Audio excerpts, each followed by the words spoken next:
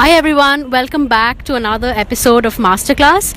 Let us introduce you to Delhi based artist Shruti Gupta Chandra, trained in Triveni Kala Sangam and uh, has exhibited across the country. Um, I think the first thing that I notice are these fragmented pictorial spaces, uh, and somehow they seem so relatable.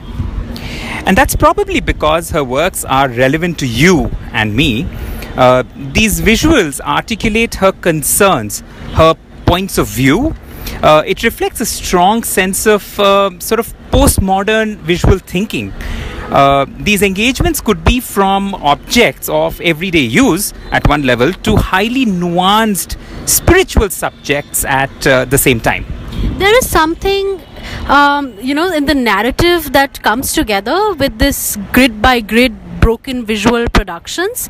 Uh, these small facets of urban life, the city street, the pieces of cloths, uh, the urn, in the corner, um, but you know what is important is the audience interpretations elevate them to a grander narrative Exactly. Uh, the depictions may focus uh, in particular parts of the image at a micro level, but it could also be a metaphor for the many struggles, the many experiences of uh, living in an urban space.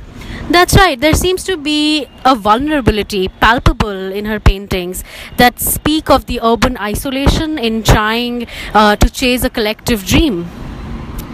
Um, absolutely. Uh, how do we, as urban dwellers, keep afloat and every day struggle to protect our dream and uh, sort of to stop it from turning it into a nightmare? Her paintings are thought provoking, visually striking, and restlessly communicative. An urban dweller, I for one, can find many, many stories in these clues uh, that are left by Shruti on the canvas.